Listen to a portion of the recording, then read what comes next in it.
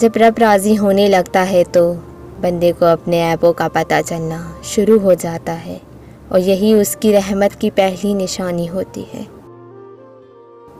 अपने दिल को जगह में ढूंढो, कुरान सुनने के वक्त, अहले अल्लाह की महफिल में, तन्हाई के औकात में।